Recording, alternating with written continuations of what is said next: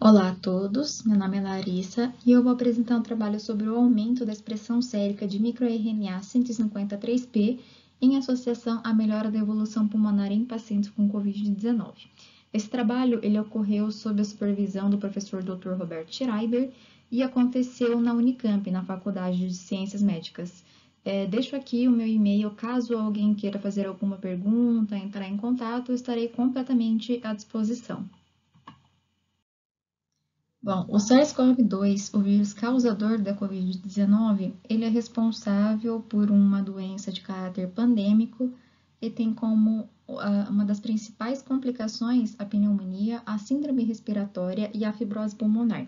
Então, nesse contexto, a tomografia computadorizada, ela tornou-se uma importante ferramenta diagnóstica, já que ela possui a capacidade de mostrar com, de uma maneira fiável as injúrias pulmonares. Bom, o que são os microRNAs? Os microRNAs são reguladores gênicos evolutivamente conservados, e essa regulação gênica ela ocorre por meio da degradação ou da repressão da tradução de moléculas-alvo de RNA mensageiro.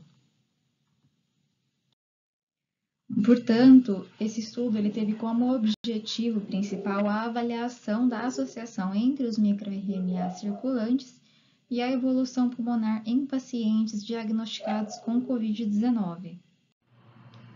Uh, o estudo contou com a inclusão de 27 pacientes com Covid-19 e foi realizado no dia da internação e no dia da alta hospitalar a tomografia computadorizada e também a análise laboratorial e análise dos microRNAs 30 dias após a admissão. Foram avaliados 754 microRNAs com um score de qualidade, tá? avaliado pelo score de amplificação. Desses 754 microRNAs analisados, uh, foram expressos 211 microRNAs, sendo que 43 deles eles apresentaram expressão em mais de 50% das amostras.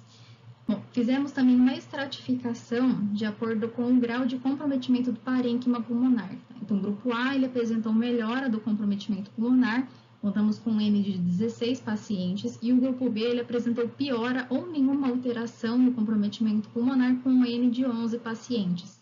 Analisando esses microRNAs com a estratificação de grupos, tivemos 7 microRNAs diferencialmente expressos. Então, posteriormente, fizemos a análise de correlação de dados clínicos e a análise laboratorial com os microRNAs.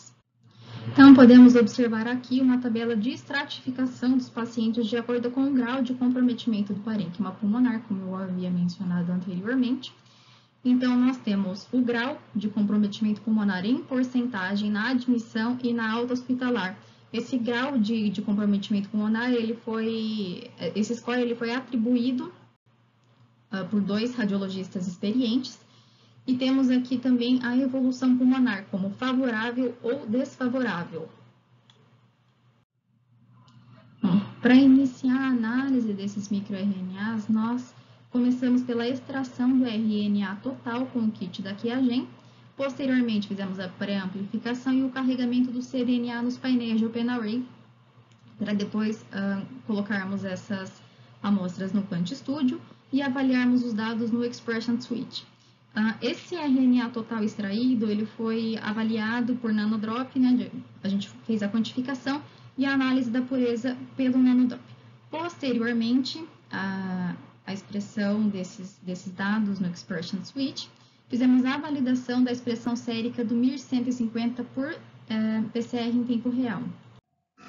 Bom, aqui nós podemos observar as características dos participantes segundo o acometimento pulmonar, como eu havia mencionado anteriormente, já que esses pacientes eles foram estratificados em dois grupos. Os pacientes com evolução favorável, então a gente conta com N de 16 pacientes, e a evolução desfavorável com N de 11 pacientes. Bom, nós podemos perceber que não houve diferença estatisticamente significante entre as características desses pacientes.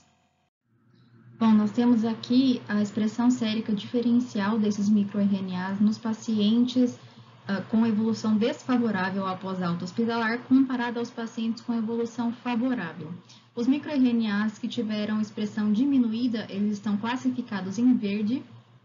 Uh, em vermelho, nós temos os microRNAs que foram superexpressos. E em preto, os microRNAs que não tiveram alteração.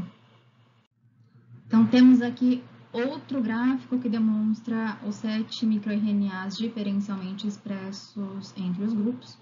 Então, os microRNAs que contam com valores positivos foram os uh, microRNAs com superexpressão, com uh, expressão elevada, e os microRNAs com valor diminuído, eles apresentam os valores negativos.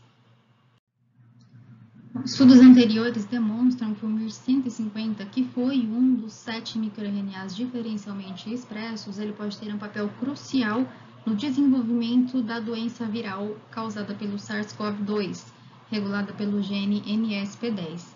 E além disso, outro estudo demonstrou que o MIR-150 ele pode ser um atenuador da injúria pulmonar, um estudo anterior também mostrou que o MIR-150 ele se apresenta reduzido em pacientes com Covid-19 quando comparado aos pacientes sem a infecção viral.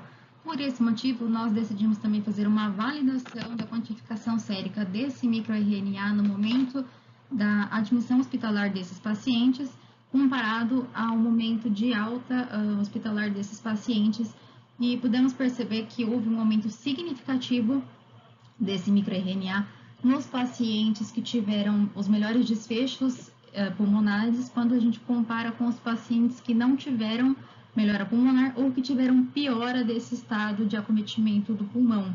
Aqui não houve diferença estatisticamente significante na expressão desse microRNA nesses dois períodos. Nosso estudo contou então com sete microRNAs que foram diferencialmente expressos e que parecem ter uma, uma relação com a fisiopatologia das doenças virais, é, neste caso, com relação à Covid-19. Dentre esses microRNAs, nós temos o destaque do MIR-153P, que parece ter uma relação com a evolução favorável do envolvimento do parênquima pulmonar. Neste contexto, o MIR-153P ele pode ser considerado um potencial biomarcador dessa evolução do, do envolvimento do parênquima pulmonar. Além disso, os nossos dados eles são sustentados e corroborados por estudos previamente publicados que mencionam o envolvimento desse microRNA com o desenvolvimento da doença viral da, da Covid-19. Todavia, novos estudos são necessários para que haja uma comprovação da nossa hipótese. Essas são as referências e os agradecimentos. Muito obrigada pela atenção de todos e fico à disposição para qualquer dúvida.